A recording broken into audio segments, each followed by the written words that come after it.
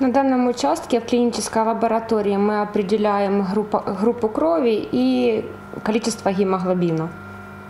Акція зі здачі крові до Дня Святого Миколая зібрали як бувалих донорів, так і новачків. Ігор ділиться кров'ю майже 10 років. Ще трохи і стане почесним донором України. Ну, для меня это уже как своего рода наркотик. То есть я без этого уже не могу. Я сюда хожу уже, ну, как бы по зову сердца. Я сдаю э, в основном бесплатно, потому что как бы э, хочу быть почетным донором Ука- Украины. Это ну, для меня это будет как честь э, ну, перед нуждающимися в крови людьми. Ну, для меня это так.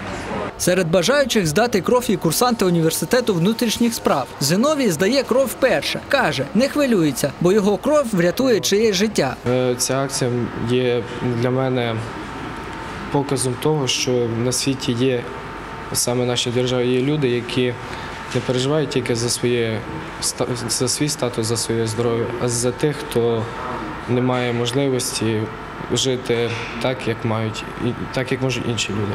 За словами лікарів, компоненти крові завжди потрібні. Необхідні вони і центру матері та дитини професора Руднева. Там чимало новонароджених в тяжкому стані, які потребують переливання. Але стати донором можуть не всі. Є і протипоказання. Якщо людина перехворіла ОРЗ або там татуювання, щеплення, то це будуть тимчасові пр- протипоказання, які буквально там від місяця до шести місяців буде протипоказання. Якщо вже людина має якісь хронічні хвороби або видалення якогось органу, то тоді вона, на жаль, донором не, може бути.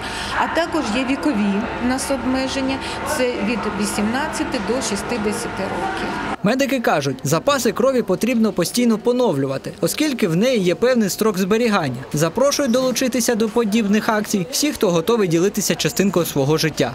Микита Доброславський, Константин Кесар, Open News, телеканал відкритий.